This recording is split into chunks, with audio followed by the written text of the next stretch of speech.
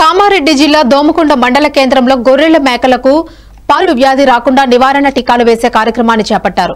ఈ సందర్భంగా జిల్లా పశుసంవర్ధక అధికారి దోమకొండ జెడ్పీటీసీ తీగల తిరుమల గౌడ్ మాట్లాడుతూ దోమకొండలోని గొల్లకుర్మ వడలలో పీపీఆర్ పారుడు వ్యాధికి టీకాలు వేయడం జరిగిందని తెలిపారు.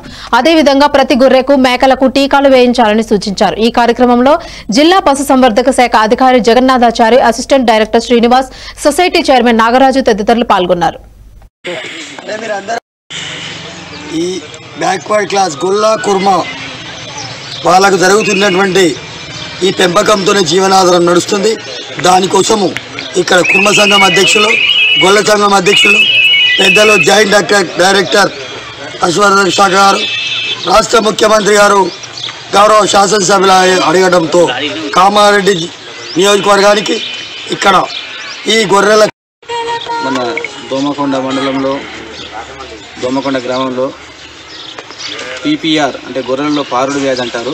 ఆ వ్యాధి నివారణ గురించి టీకాల కార్యక్రమాన్ని మన గౌరవ జడ్పీటీసీ సభ్యులు శ్రీ తిరుమలగౌడ్ గారి ముఖ్య అతిథిగా పాల్గొని కార్యక్రమాన్ని ఇక్కడ మనం చేపట్టడం